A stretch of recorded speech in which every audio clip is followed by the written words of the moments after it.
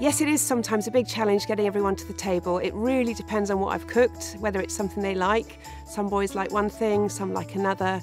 Some are just in a bad mood and don't want to eat. Wasting food is a problem because the, we only have a finite amount left in the world.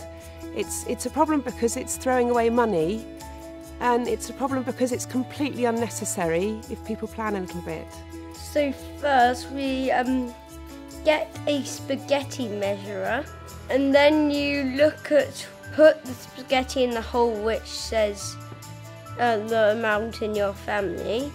Uh, you put enough to fit in the hole and that's how much spaghetti you know to use. I've got various bits of food in our fridge. Um, okay, here's some tomato sauce that I made and I made that actually using some vegetables that were starting to look not so happy also under here I've got a pot that I keep in the fridge which is things for vegetable stock.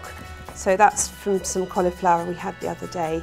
Um, keep it in the fridge and then when I want to make a stock I can just add that to it. Absolutely temperature affects food. Um, there are some foods that work best when they're um, left on the side, there are some foods that work best in the fridge so it's about knowing which, which work best when. Well um, if you have any leftover bits of bread, um, bits of toast that haven't been eaten, if you pop them in an oven dish and shove them in your oven when it's cooling, keep it in there for a couple of weeks every time the oven's cooling and then you can whiz them up. Obviously uncle you've got breadcrumbs which you can use to make things it's a good idea to keep fruit in the fridge because it lasts much, much longer. So I've got apples and pears here.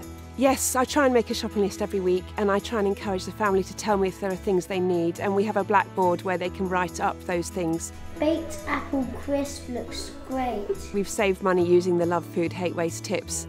I mean, it's changed the way I think about food and the way I buy food and the way I use food. And I've also had quite a lot of fun with it.